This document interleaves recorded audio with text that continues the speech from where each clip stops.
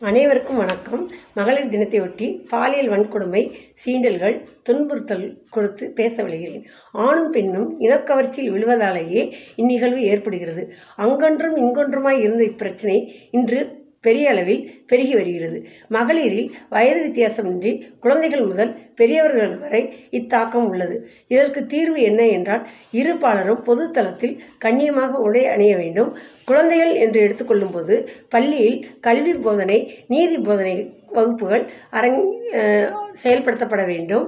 அதே சமயத்தில் வீட்டிலும் பெரியவர்கள் ம மதிப்பெண் மட்டுமே போதும் என்று பெற்றோரும் எண்ணக்கூடாது. நல்ல குடிமக்களாக குழந்தைகள் வர வேண்டும் என்று எண்ண வேண்டும். குழந்தைகள் இப்போ சமூக நிலையில் அஞ்சாமை என்னும் உணர்வை போதிக்கப்பட வேண்டும்.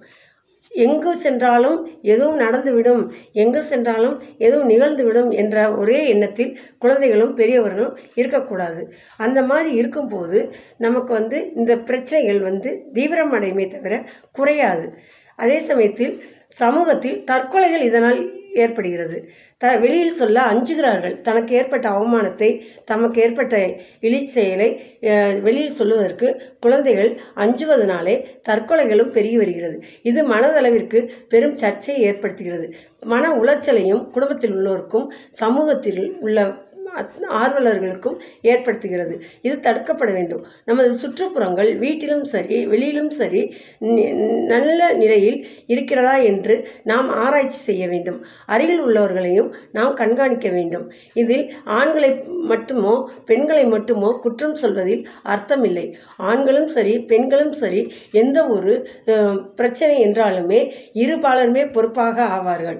அதே சமயத்தில் நாம் இந்த பிரச்சனை எவ்வாறு தீர்க்க வேண்டும் தான் எண்ண வேண்டுமே தவிர மேலும் மேலும் இதை வந்து ஆராய்ச்சி செய்வதில் எந்த பலனும் இல்லை.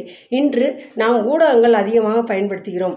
அதே சமயத்தில் இரு பாலரும் கவர்ச்சியில் ஈடு ஈடுபடுவதற்கான சூழல்கள் அதிக அளவில் பெருகி வருகிறது.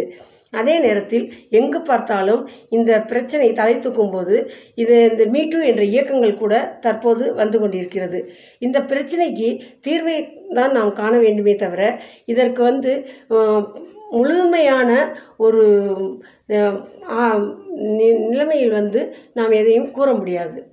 எனவே மகளிருக்கு இந்த பிரச்சனை அதிகமாக வராத அளவிற்கு நாம் கல்வி போதனைகளிலும் நம்மளுடைய பாரம்பரியம் வாழ்வியல் சமூகம் சமூகத்தின் தாக்கம் இவற்றை பெண் குழந்தைகளிலிருந்து குழந்தை